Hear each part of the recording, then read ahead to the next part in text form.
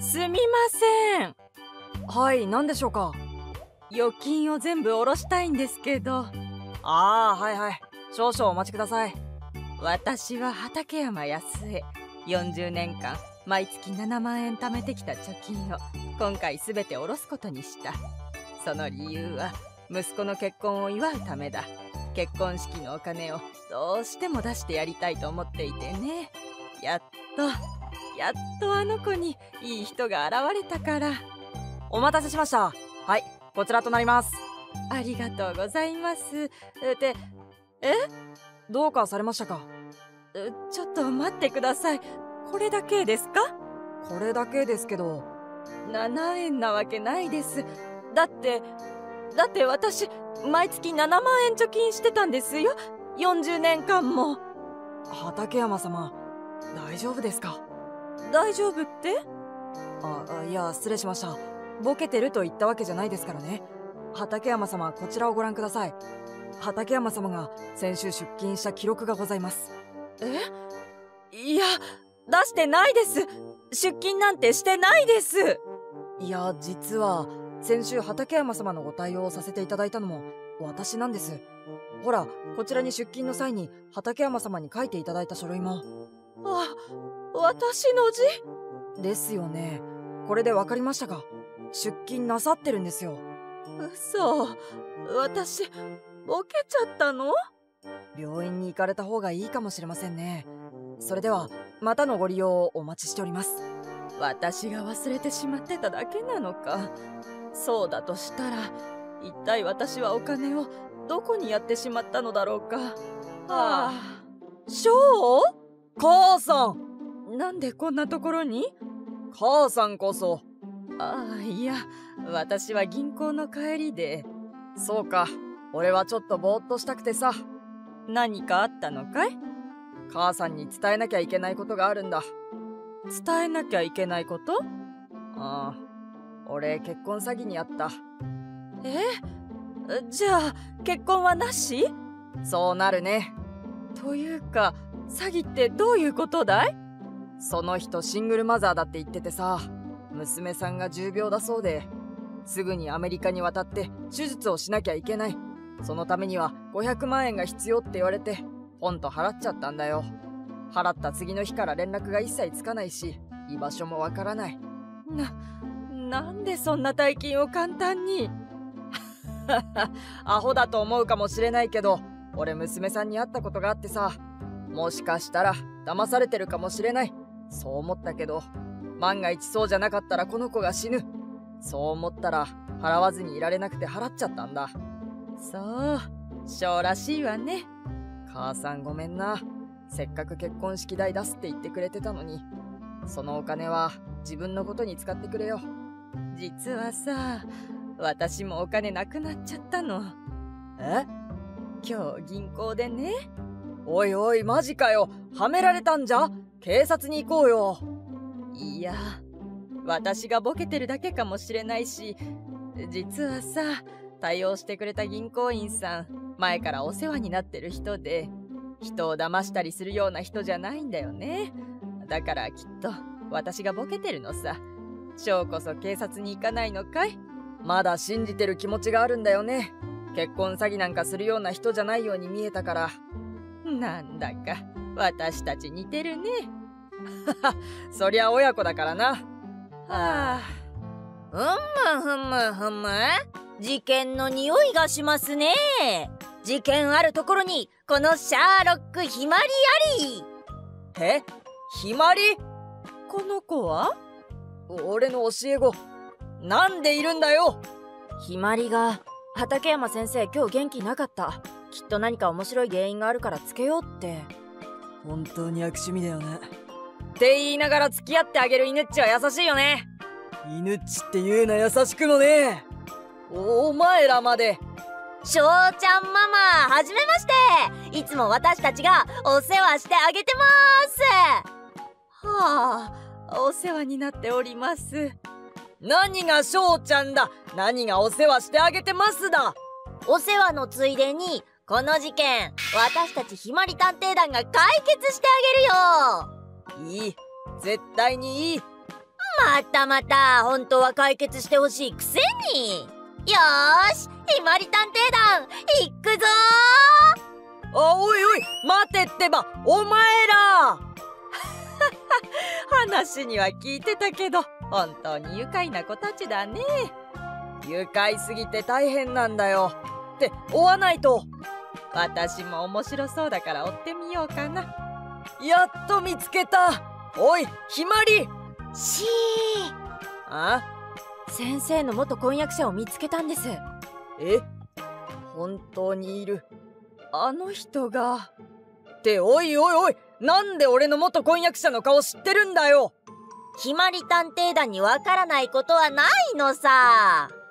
さてはお前ら俺のことつけてたろ。いいやーチョコレートパフェをあんしてもらってたところなんて見てないですよ。ハルト。てめえな。あごめん。やっぱりつけてたんじゃないかお前ら。ショー？誰か来たわよ。あ男の人。あれは私の対応をしてくれた銀行員さん。え？ああこうや。お待たせ。じゃあ行こうかうん。むむむむむこれはこの二人できてますなそうっぽいわねなるほど恋人同士で畠山親子を騙してたってことかこん。な偶然あるん。だねよーし突撃ちょっと待ってひまりちゃん。あ翔ちゃん。ママどうしたの少し後をつけてみたいの俺も同意見だ。え？でももう詐欺をしたことはほぼ確実。でもそうだな。まだ銀行員の方が詐欺をしたかはわかんねえぞ。ああ確かに。少し泳がせた方がいいな。そういうんじゃないけどとにかくお願い。うんわかった。とりあえずはい。アンパンと牛乳。なんでそんなもの持ってるんだ。張り込みする可能性もあると思ってお前なあ。とりあえず尾行しよう。うーワクワクしてきた。ひまりあなたね。こうして私たちは二人を尾行することに。騙されていたのはほぼ確実だろ。うでも私には確かめたいことがあった。きっとショーも同じことを確かめたいんだと思う。そして私たちが尾行していくととある場所に着いた。んむむむむここは病院？ショー？やっぱりそういうことか。もしかして。わ何何どういうこと？ああそういうことか。ひまりわかったの？ハルトくん私を誰だと思ってるんだい？シャーロックひまりだぞ。もう謎はすべて解けた。あの二人はあの二人は？騙し取ったお金で昼ご飯を食べるつもりだ。この病院の食堂のランチは絶品なんだよ。私が昔空を飛ぼうとして骨折し入院した時は足しげく通ったものさ。そういうことだったんだね。そんなわけねえだろうが。とりあえずつけるぞ。それで答えがわかるはずだ。ミカ。パパママ来てくれたんだね。ええ仕事終わりにパパと待ち合わせしてきたの。今日もたくさんお話ししようなアキ。それでさアキ。今日は嬉しいお知らせがあるんだ。嬉しいお知らせ？ミカこの前話してたアメリカで手術できることになったの。病気治るんだよ。本当に？やった！やった！これでまたお外で遊べる。パパとママと一緒にお出かけできる。やったそうだぞ。たくさんお出かけしような。あ私喜んだらなんだか眠くなっちゃった。寝るね。でもよかった。ミカもう生きられないと思ってたから。うん。本当によかったよな。あなたのおかげよ。いやアキが頑張ってくれたおかげだ。失礼するわよ。畠山さん！久しぶりだな。ななんで翔さんがここに？え？えもう全部わかってるんだよ。ひまりちょっと黙ってて。ね。狙って騙したのかもしれないけど私たち親子なの。それでねあなたたちを見かけて追いかけてきたのよ。全部バレちゃったってことね。まさか私たち夫婦で親子を騙してたなんて。そうよ。結婚詐欺をしてたのよ。結婚詐欺を。私は翔あんたを騙したの。でも残念もうお金はないから。畠山さん予想通り私が畠山さんのお金を盗みました。すぐには下ろさないだろうからバレないと思って。ですがこちらも残念ですがありません。ってことで私たち夫婦のこと警察に突き出すなりなんなりしてください。覚悟はできてます。あんたらのやったことは詐欺だ。確実に実刑判決になる。分かってるわよそれぐらい翔だけじゃないしね騙したの。本当に分かってるの？あなたたちこの子のために詐欺を働いたんでしょ？この子が元気になってもあなたたちは刑務所に入ることになって会えないかもしれないのよ？別に構いません。覚悟の上です。ミカの命を救えるなら臭い飯でも何でも食います。そうです。あんたらはそうかもしれない。さっき病室から声が聞こえてきたがあんたらと一緒に出かけたいそう言っていたよな。だから何ですか？その願い叶えてやれなくなるんだぞ。そしてミカちゃんは一生自分のために両親が罪を犯してしまったという負い目を負うことになるんだ。仕方ないでしょ。5000万円なんて大金まともにやったら稼げるわけない。そうしているうちにどんどんミカの病気が進行していく。こうするしかなかったんだよ。それは違うわ。はい？何が違うって言うんですか？他人だからそんなこと言えるんですよ。こんなずるいことをする前に私たちを頼ってくれればよかったじゃない。え？俺たちに正直に言ってくれたら力になった。口だけなら誰でも言える。いや口だけじゃないよ。畠山先生はそういう人だから。